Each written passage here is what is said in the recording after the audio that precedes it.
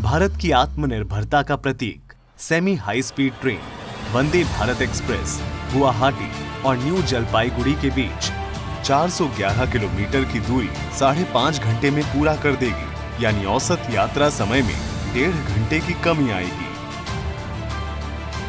Rotating seat touch free bio vacuum शौचालय CCTV कैमरे स्वचालित दरवाजे, दिव्यांगजन के अनुकूल शौचालय।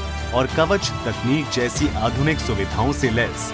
वंदे भारत एक्सप्रेस यहाँ के यात्रियों को वर्ल्ड क्लास रेल यात्रा का अनुभव देगी। वंदे भारत से पूर्वोत्तर के विकास में तेज़ी आएगी। काजीरंगा पोबितोरा मानस, हाफलंग, शिलांग आदि में पर्यटकों की यात्रा सहज होगी, जिससे पर्यटन और सहायक क्षेत्रों के साथ साथ स्थानीय लोगों को आर्थिक लाभ होगा।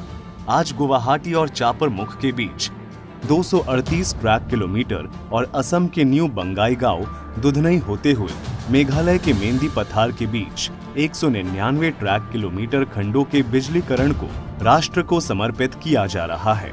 भारतीय रेल 100 फ़ीसदी बिजलीकरण के लक्ष्य की ओर तेज़ी से बढ़ रही है और इस दिशा में नॉर्थ ईस्ट में रेल बिजलीकरण एक अहम कदम है। इससे रेल परिचालन की लागत में काफ़ी कमी आएगी।